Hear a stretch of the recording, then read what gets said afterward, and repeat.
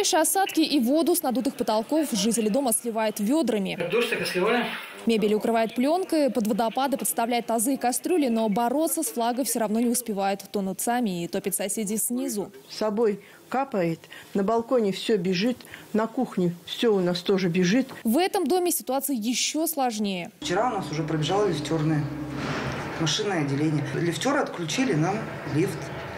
Пришлось делать такое вот временное укрытие. Крыши сорвало еще в мае. Починить их городские власти обещали в июле, но жильцы по-прежнему ждут, когда, наконец, рабочие залатают все дыры. Вынесли решение, чтобы делать крышу, но а деньги, деньги не выделяет. ТСЖ у ней смета, все сделано, подрядчики найдены. Вызывали подрядчиков, чтобы они принимали меры, то что действительно серьезное затопление квартир у людей, э, люди у нас страдают. Подрядчики оправдываются, жителям и дальше придется терпеть протечки. Невозможно там на 100%, вот, чтобы не было ни в одной квартире. Это невозможно. Мы вставляем пленочку под старый ковер, все это бетончиком делаем, и все равно какие-то протечки есть. Но на это уходит очень много времени. Да и вообще, говорят, закончить ремонт им мешает дожди. Невозможно выполнять работы. Ну, невозможно, можно...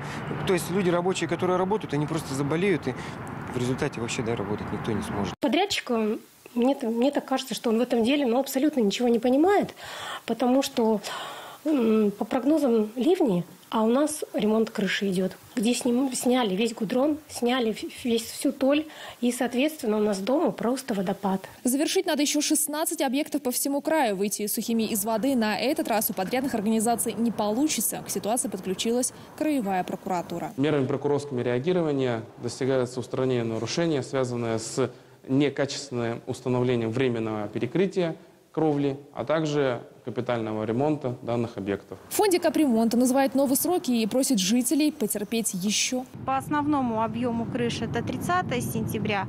А по тем крышам, которые зашли вот буквально э, неделю назад, там срок окончания будет ноябрь. Но даже если крыши все-таки отремонтируют, непонятно, от кого жильцам подтопленных квартир ждать компенсации за испорченную дождем мебель. В любом случае, если спор мирным путем решить не получится, то у жильцов есть возможность обратиться в суд вместе с актом и фотографиями затопленных квартир. Екатерина Вершинина.